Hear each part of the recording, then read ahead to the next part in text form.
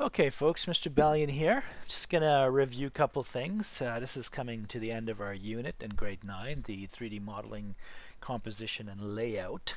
You will see that we have our sketches here. And this is the end result, obviously, right here, and I'm, as I'm hovering, as opposed to my hand hovering over. Okay, so you guys seen this. And I'm going to talk about composition. Once you have all these elements figured out, you have all the, your sketch idea, you practice sketching the environment, and you basically built your 3D primitives, your version of this. That's cool. So now what we want to do is study um, how we're going to put it together. You went through these drawings yourself. You made your own. Here's a sign. Back here was the snowman and a bunch of cylinder spheres and so on to make all these um, elements. And I'm just going to hide this as a review. This was a sign. And lastly, over here, we did the little chalet, as I call it, the shed, the small chalet in the, in, for winter. Okay, now we're going to talk about composition and layout. And it's really easy for me to say, hey, by the way, you have to pay attention to the rule of thirds. What does that mean? Okay, so let's just start this right now. Okay, so I've got my pencil here, and rule of thirds is quite simple, but there's a lot to it, not just rule of thirds. So I'm just going to draw just a, um, a frame here. And let's pretend that this is our shot, is within this frame. Okay, and basically the rule of third says to you, just divide your page into thirds. Okay, and you vertically and horizontally believe it or not. Here it is. Okay, so roughly what people do is say, oh, by the way, you should just make sure you have something important in this zone or in this zone. Okay, so you're not you're basically not doing this. Okay, so I'm just going to do freehand drawing here. So imagine you've gone on a trip. Here's you, uh, your family members, and somebody else over here, and there's something going on in the background. And normally you're in the middle. Okay, so that's good for a focus shot. Okay, so if you're emphasizing something, that's fine. But in the future, what I want you to do is I'm going to sketch another version of the same picture you're on a trip. Here's your uh, one of your parents, uh, sibling over here, and another person here. So basically what I did is I moved the people in the shot to one third over so that I could see what's happening over here. So basically maybe there's a pathway here that comes across nice mountain or something, the sun coming up or the moon coming down. So you're really visualizing other things that are going on you are the focus, but you're also in view of other things. Okay, so that's the goal. So this is kind of theoretical. And there's also going to be things like this. So you see there's a background, there's a sky, there's a moon, maybe a little mountain here or a hillside, road coming. They're in the foreground, this is in the middle ground, and the sky is in the background. So I'm going to explain all these things throughout um, shots that I can appreciate, okay? Here we go. All right, I'm going to start with rule of thirds. As you can see right now, here's our shot. I'm just going to reduce it for you guys so you will see now. This is one of my favorite movies, of course. It's Tangled. And, uh, you know, right here. It's a Disney movie. All right, I think it's one of the best animated movies of all time. Okay, so you can see the eye contact here. Um, it's, it's very powerful. And as well, uh, we've got one on one side, one on the other. They're not in the middle and they're framed beautifully, one third and one third. Okay, so I'll just bring you another another uh, example here, and I'm just going to reduce the opacity so I could draw over it. Maybe something uh, a color that I would never use. Here we go, uh, a bright green. So notice now uh, the eye the eye movements. This is very. Oops, my apologies. Let me just change this. Never draw on the layer, folks. Okay, so I'm going to lock this, go on top and I'm just going to reduce the opacity. Here we go. Make my brush uh, pencil thicker. So notice a couple things. Obviously, rule of thirds here and here. Okay. What's amazing is that notice that the eye movement right here. Okay. Right here. This is kind of cool. Pixar is very good at this. Uh, not good. They're amazing. What am I saying? Who am I to say that? They're amazing, right? So also notice that there's a depth here in the composition. Okay and there's an action going on here there's depth there's inside here there's a framing of a space and there's more going on. So this is loaded it's a loaded shot. So you guys just you always have to think of what's in the foreground what's in the middle ground and what's in the background okay?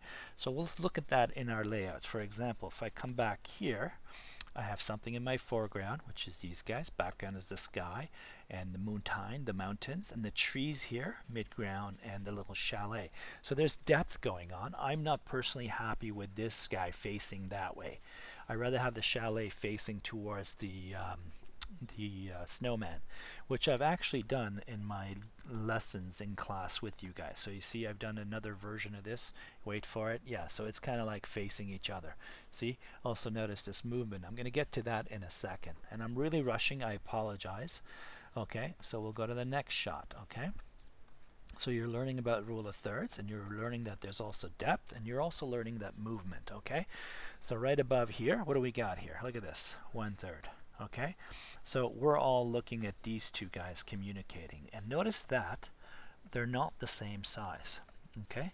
So if I just there's a size difference so that's kind of cool so all our objects and this is going to make sense in terms of your background with your trees notice here height difference height difference height difference, height difference, and so on. So what I'm saying to you is some of you in your layouts are doing this in the background. You're laying out the trees out of cone shapes all the same size. See here? What you want to do is have movement. So look at this movement. It's beautiful. Again, it's Pixar they're masters at this, right? So what we do is we, we bring it down, we go back up, and so on. So you want to have this movement happening in your composition.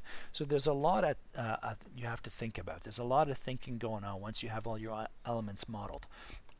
Moving on to the next example. Let's see what else I can find here. Oh yes, and uh, again, well look at this. This is kind of like a framing opportunity here. There's something in the front. Um, sorry, I'll just go like this and okay and then this is in the foreground. These guys are in the middle ground and notice this movement. Look at that. That's movement in your composition okay? So look that's beautiful right? These guys are all looking at each other. That's a classic Pixar move. Lovely. Go on to the next shot and I'm really rushing. I apologize. We're gonna go continue with movement. All right so I'm gonna go above it so again watch this see that they're all like they're look at this. They're all looking, obviously, camera left here. Um, but notice that in the composition, they're not all the same the same height, which is what many of us do in the beginning, right? So we want to avoid that. We want to show movement through our composition. Beautiful depth. Background is the sky, midground are the buildings. They're in the foreground, okay? FG for foreground. The buildings are midground. And the sky is a background. So you're learning so much in such a short period of time. Okay, I'm going to end it with the word framing. So think about this shot right now. Okay, this is a beautiful shot. Look at this connection here from Tangled. And so what's happening is they're both inside a frame. Think of yourself walking, oops, sorry, wrong. Wow, how did that work? The layer was locked. Okay, think of yourself going through a door frame. Uh, so whatever happens within that, we, th we think of it as a framing. Okay, framing can also mean that I have half the body uh, maybe looking that way, and my brain's going to kind of fill out the rest. So maybe that's a little too abstract for you guys to think about, but that's a sense of framing. So look, they're framed within the door frame, right? So within this kind of beautiful archway here. Okay, so that's something you can think about. You can maybe in your composition do this. You can bring the snowman really up front here, the hat going up like that okay the cone here the eyes. So that in a way our brain is saying oh yeah there's movement going on here. There's something going on here. There's my hat uh, coming around. There's the snowman and back here is the chalet or something or you know and so on. That's going up and we have that. So this is a framing system that you can apply if need be okay? Okay I've got something like that. I've got my valleys here and maybe you have a pond with a sign over here. So this is a sense of framing. Our brain right now is doing the is creating the rest, okay? It's creating this dot dot dot dot dot like that. Okay, this was a quick quick lesson about framing, but this is what you have to do once you have all your elements figured out, okay? So you went past the lay uh, the drawing creating these objects in 3D. Then you're bringing them together in your composition, and the composition is about layout. It's about placing these elements in a in a co cohesive manner. Okay, so I'm ending it here. So if you look, obviously one third, one third. There's some depth. There's middle ground, foreground, background. So we're good to go. On this note, we're ending at this point.